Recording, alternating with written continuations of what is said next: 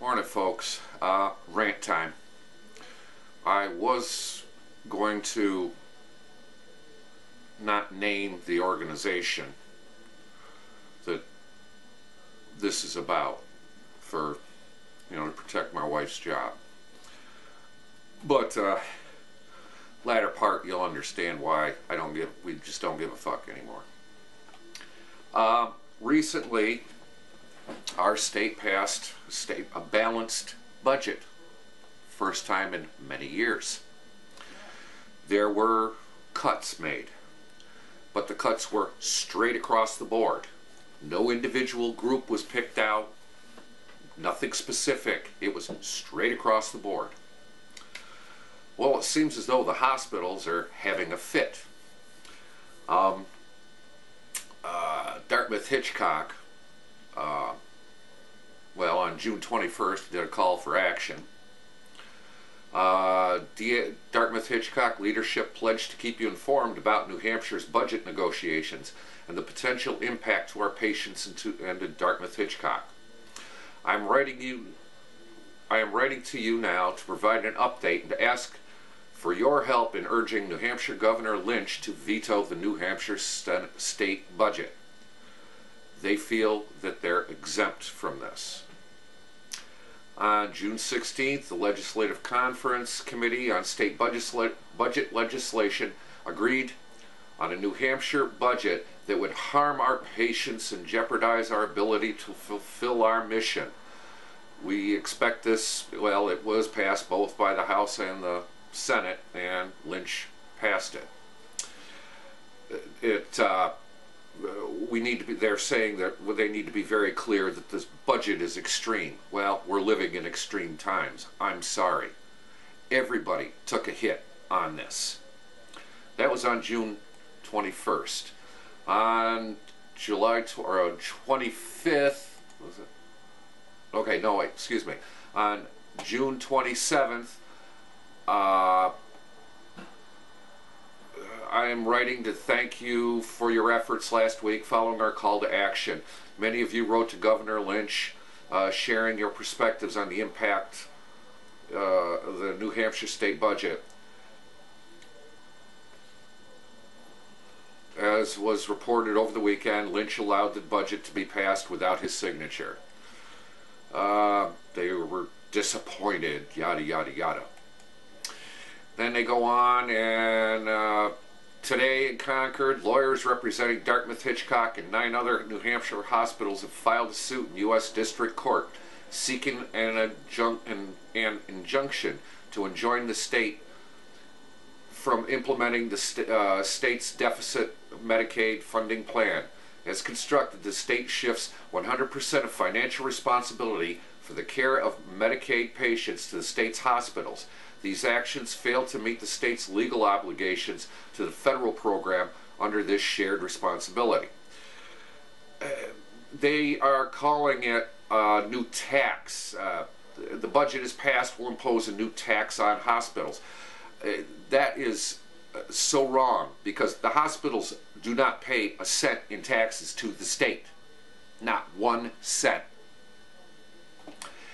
They're talking layoffs, this, that, and the other thing. Well, let me tell you a little bit about their structure.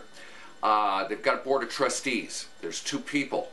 Um, they're both making seven digits. Or, well, excuse me, there's uh, 1, 2, 3, 4, 5, 6, 7, 8, 9, 10, 11, 12, 13, 14, 15, 16, 17, 18, 19, 20. Okay, 20 people. They're all collecting uh, seven digits. Then you've got, uh, let's see, co presidents of Dartmouth Hitchcock. Got two of them. Again, seven digits. Then, let's see, well, you know, Chief Advancement Officer, Chief Financial Officer, Chief Human Resources Officer, uh, information, yada, yada, yada. Uh, one, by the way, one of the uh, presidents is also uh, on a committee of 400 people to improve hospital care and yada yada yada. 400 people that are all making six digits plus, you know. None of these people, none of their jobs are on the line. None of these people have offered to take a cut and pay to help offset. No, they're weeding out the smaller people. They're saying, oh, through attrition, this, this, and this.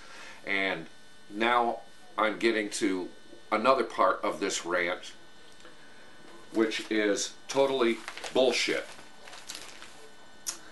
Valley News. DHMC orders flu vaccination for its 8,700 system employees. If, uh, you know, uh, let's see, what is it? If uh, anyone not in compliance after December 30th will be suspended from work for two weeks, which will either be unpaid or paid with earned time. Failure to comply by January 13th, 2012 will result in the worker getting fired. Now, the wife hasn't taken a flu shot in a couple of years. And in a couple of years, for the past couple of years, she's not been sick. Before, she was faithful about getting the, the flu shot, and it seemed like every time something went through that hospital, she brought it home. She was forever sick. Two years now, she hasn't been sick. It is her rights that are being violated.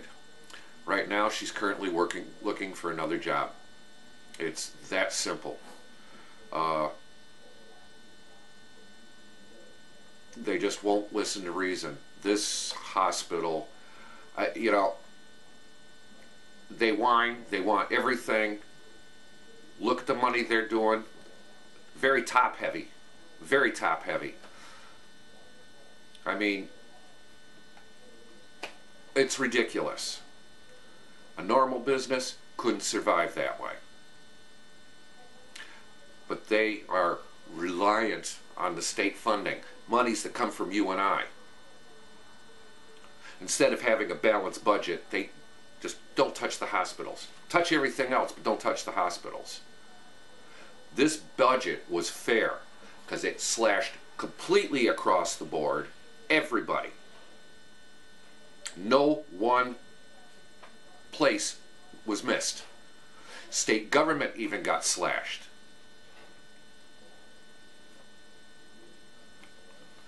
I'm sorry, we've got a balanced budget. Learn to live on what you got. Stop the waste.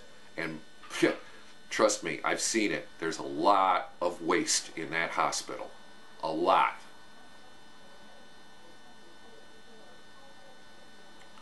I just sorry this is so disjointed. It just it just fries my ass.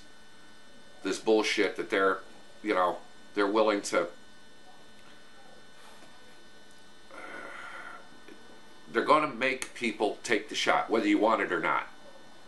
The only way out of it is if you get a medical excuse or if it's against religious beliefs but then they're going to make your life impossible. And they will eventually let you go.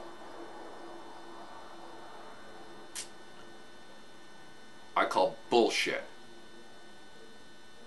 Get the fuck over it, Hitchcock. Learn to live within your means like everybody else does. Peace out.